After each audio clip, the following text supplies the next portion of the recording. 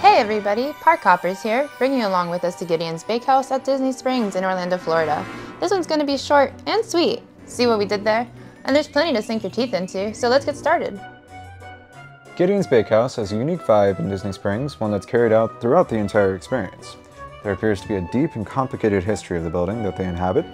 They've managed to uncover some interesting information about the original owner of their vintage space, and they claim that it feels like he's unveiling more to them as they rebuild what once was.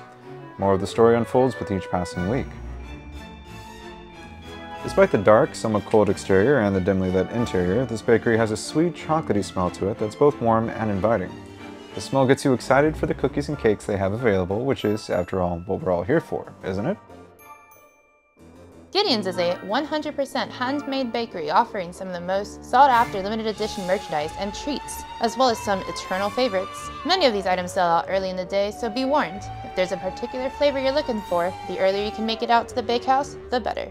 Now let's talk about the goods. Their cookies and cakes are absolutely enormous. They limit each patron to a maximum of six cookies, which equates to nearly three pounds of deliciousness. Their cake slices are imposing and feel like they'd be enough for a small family to enjoy. That being said, they're good enough that Gideon's has to remind everyone that they don't sell a whole cake at a time, only slices. The cookies that we're featuring here are the limited edition banana bread chocolate chip cookie and their triple chocolate cookie, a common favorite. The banana bread chocolate chip cookie isn't tied to a single month like most of their limited offerings, but instead will stay around for an extended period of time. This is a decadent vanilla bean cookie blended with bananas, a mix of dark and semi-sweet chocolates, candied walnuts, and finely crushed banana chips. This is the best-selling limited edition cookie Gideon's has ever released, so don't miss out. The triple chocolate cookie, which is really five kinds of chocolate, is made with fancy Callebaut and Ghirardelli chocolates. To make it extra velvety, they pour their chocolate ganache straight into the cookie dough as they mix it. We found both of these cookies to be exactly as advertised, enormous, sweet, and decadent. The limited edition banana bread chocolate chip cookie didn't disappoint as the banana bread flavor was present in each bite.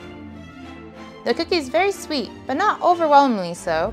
The banana chips on top provide a nice, light crunch to an otherwise perfectly soft cookie. It was as if a banana nut muffin was fused with a chocolate chip cookie. It's definitely a bestseller for a reason, and is one that we'd happily recommend to anyone. As a reminder, it's a limited edition cookie, but will be sticking around for an extended period. The triple chocolate cookie was rich and packed one heck of a chocolatey punch. Chocolate lovers out there certainly won't leave disappointed.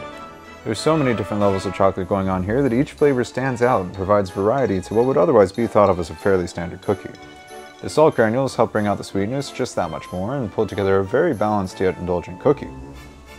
Beyond their treats, they also offer merchandise that allows you to take home some of the fantastic artwork by Mr. Eyes, the artist featured throughout Gideon's Bakehouse.